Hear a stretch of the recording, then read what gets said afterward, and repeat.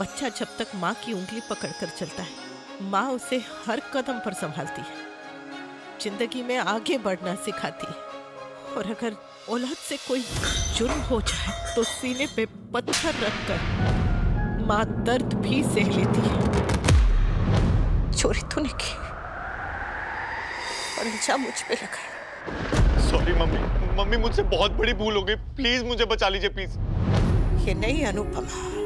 अपने बेटे की सजा का दर्द सह सकती है। लेकिन उसके गुनाहों का बोझ नहीं उठा सकती। लेकिन उसके गुनाहों का बोझ नहीं उठा सकती। मम्मी नहीं मम्मी नहीं, नहीं मम्मी मम्मी। अनुपमा 8 मार्च से रात 10 बजे स्टार प्लस और डिज्नी प्लस हॉटस्टार पर।